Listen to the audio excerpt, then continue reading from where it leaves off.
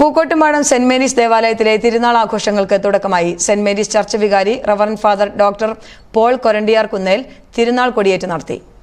പരിശുദ്ധ ദേവമാതാവിന്റെയും വിശിഷ്യ സെബസ്തിനോസിന്റെയും മൂന്ന് നാൾ നീണ്ടു നിൽക്കുന്ന തിരുനാൾ ആഘോഷത്തിനാണ് തുടക്കമായത്. ചടങ്ങിൽ വിജിൽ കിഴക്കനക്കാട് മുഖ്യ കാർമ്മികത്വം വഹിച്ചു. മൂലേപ്പാടം ഇടവക വികാരി ഫാദർ പ്രതീഷ് കിഴക്കൻ പുതുപ്പള്ളി വചന സന്ദേശം നൽകി. ഫാദർ സനൽ കൊടപ്പനാങ്കുന്നിൽ ഫാദർ ജെയ്സൺ തെക്കേക്കര തുടങ്ങിയവർ സഹകാർമ്മികത്വം വഹിച്ചു.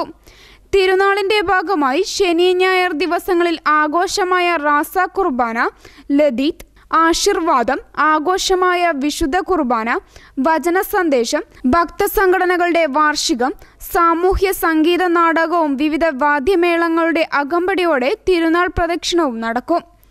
News bureau Pookkottumpadam.